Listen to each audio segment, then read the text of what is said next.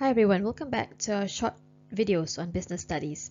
We are still in the chapter of motivation, specifically in theories, and we are in part 2 and let's see what are the theories that we'll be covering today. A bit of a recap of what motivation means, the factors that pushes people to do certain things to achieve certain goals, and hence why we're learning about theories that you know our researchers have put a lot of effort into uh, to explain about what motivates people okay so um, let's move on. Let's look at the list of researchers. All right Taylor Mayo Maslow Herzberg McClelland and Vroom. We have covered Taylor and Mayo in our first part and today we will be looking at Maslow in part 2 Okay, so now let's talk about Maslow and his hierarchy of needs. Basically, this hierarchy of needs consists of five basic needs that Maslow believes all human beings would want to achieve one by one to the point they reach at the peak of this pyramid okay? So at the base of this pyramid is called physical needs. So Maslow says that every human being would want to fulfill these physical needs for example to ensure that they have food right? Uh, they have clothes right? Water right? Air to breathe okay? These are all the physical needs that a human being needs and want to achieve if they have that fulfilled, then the next thing that a human being wants to fulfill is the need for safety. What does that mean? They want to feel safe, right? By owning homes, all right, having medical coverages, right? So these, or having jobs, okay, this helps them to keep them safe.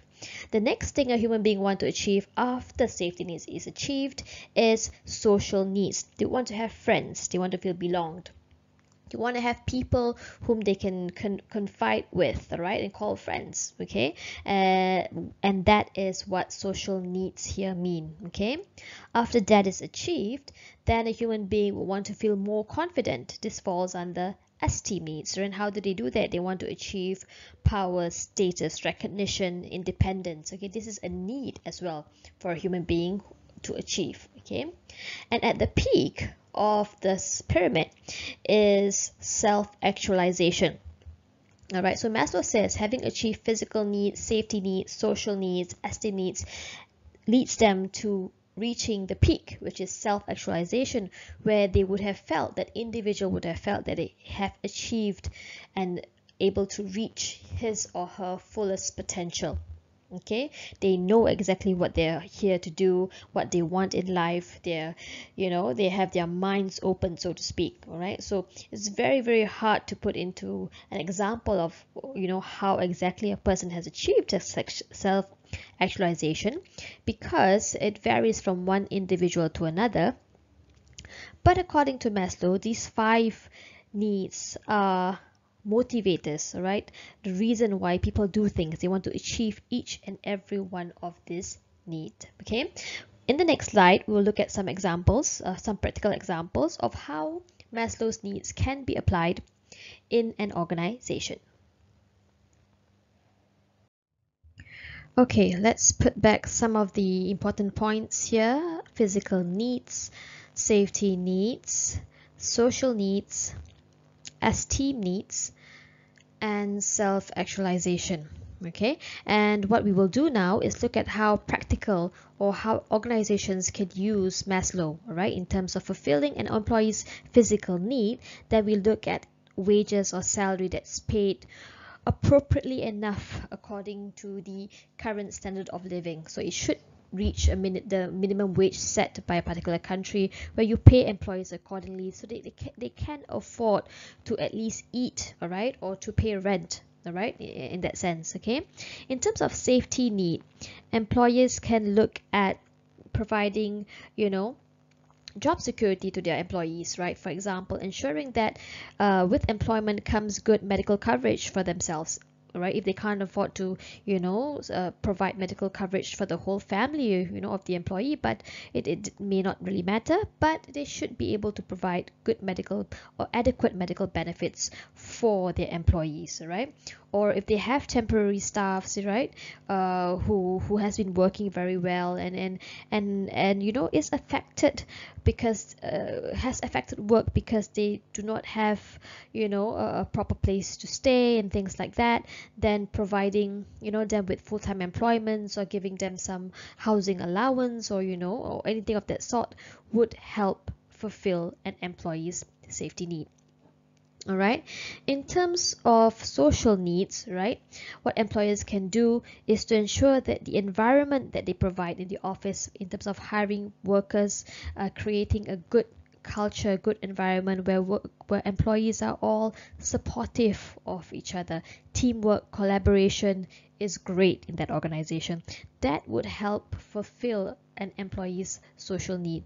It will make it easier for an employee to speak to other people or you know open up okay? And this helps achieve their social needs right? In terms of esteem needs or confidence right then employers can help boost that confidence level by recognizing employees who perform well right? Uh, employee of the month right? Certificates and and uh, you know gift cards and things like that right? Uh, to show or to single out that employee who is performing well right and that builds up the confidence of that person.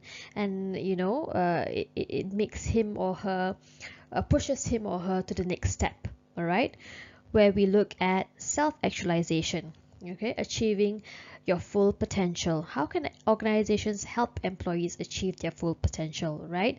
Giving them variety in their jobs giving them the ability to think outside the box, to do things that will help benefit the organization in the long run. All right giving opportunities uh, for them to discover themselves allowing them to go for new skill trainings right that, that that helps them open up new thinking new ways new ideas right? Promoting them to show them that they can do more okay? Uh, these are all steps to to enable an employee to discover who he or she really is. Okay? So as you can see these are some practical examples that companies or organizations can do right to help fulfill an employee who may fall an, an employee need who may fall in any one of these categories or more than one for that matter okay?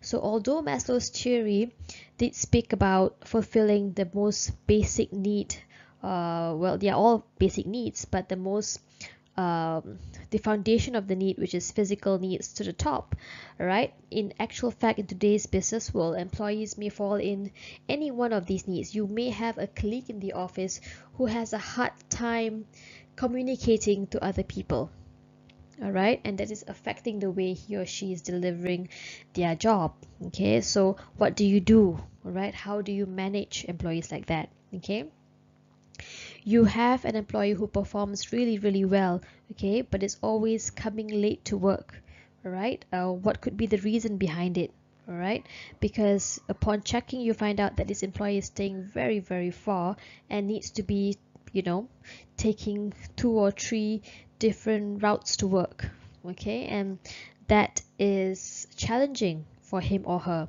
okay? So what do employers do to support employees like this who are performers but have challenges in their life. All right so we have to look at them on a one-to-one basis and employers can find out what to do right with these examples to be applied okay? Okay now this slide tells you that we are almost at the end of this uh, lesson.